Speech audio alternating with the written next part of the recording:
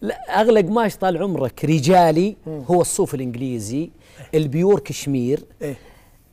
يصل إلى ثمانين ألف ريال القطعة الواحدة. ثوب. ثوب واحد. 80000 ثمانين ألف ريال.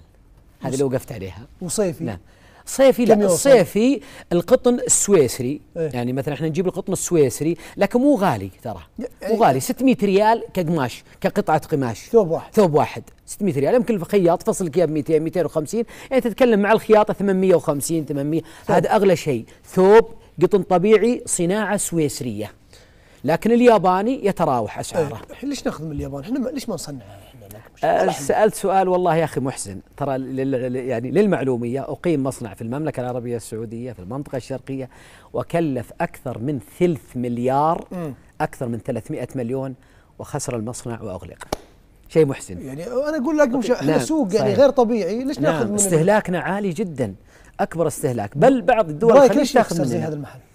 والله في أسباب يعني كانوا يدرسون هذيك الأيام ويعني التعاون مع بعض رجال الأعمال وفعلا كانت أسباب منطقية، طبعا في أسباب صناعية وتكلفة مهما. وفي أسباب تسويقية، ترى كانت لما تدير التسويق. السوق لابد أن تديرها أنت من السوق وليس من المكاتب. بس والله السوق هذا يعني سوقنا يعني فوق إنه يعني ضخم جدا ترى سوق مبروك الحمد لله.